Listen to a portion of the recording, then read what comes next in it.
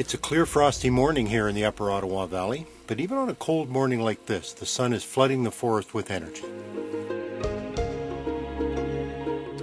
The Earth's tilt this time of year reduces the energy falling on horizontal surfaces, but an object at right angles to the sun's rays is receiving approximately 1,000 joules of energy per second per square meter. That means that each square meter receives power at the rate of 1,000 watts. That is a lot of power. Let's see if we can capture some of it. This device in my hand is a photovoltaic cell. The crystal structure of this high-tech piece of equipment is designed to produce electricity when light, particularly sunlight, shines on it. Let's take a look at how these things work. If you have watched our video on electricity, you will know that electricity is a flow of electrons, charged atomic particles, that travel through a conductor from the negative terminal to the positive terminal of a battery. The battery is a chemical device that produces the force needed to move the electrons. In this animation, electrons are flowing through a light bulb. Electrical energy is being converted to light energy. A solar cell acts much like a battery cell. When light shines on the surface, energy is picked up by electrons. They use this energy to move from the negative terminal of the cell through a circuit to the positive terminal of the cell. Solar cell manufacturers use silicon crystals to create solar cells. Silicon is a very common element. If you have ever found a piece of quartz, you have found a crystal created from silicon and oxygen. A silicon atom has four valence electrons.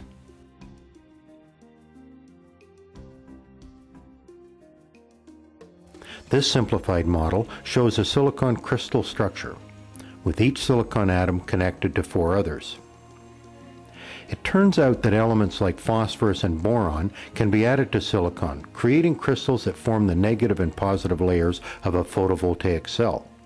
The negative or N layer of the cell is created when a phosphorus atom, which has five valence electrons, replaces a silicon atom. The fifth electron of the phosphorus atom is weakly bound to the atom. If this electron picks up some energy, it can move and become electricity. That energy can come from light.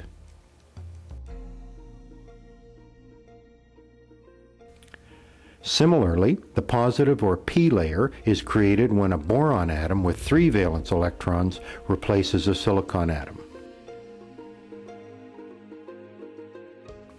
This leaves a positive hole and creates a positive layer that attracts electrons.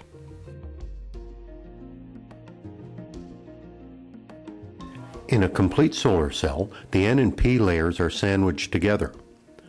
The movement of electrons in this configuration is complex, but basically light energizes electrons in the N layer and they are attracted through a conductor to the positive P layer. This is electricity.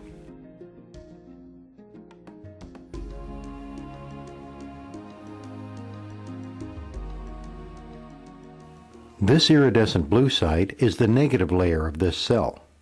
The thin metal bars embedded in the surface provide a conductive path for the electrons. This cell has a black wire connected to the metal bars. This is the negative terminal. The positive terminal is the back of the cell. It is covered in a metallic sheet. Connecting the negative probe of a voltmeter to the black lead and then touching the positive probe to the back of the cell, we get an open circuit voltage reading.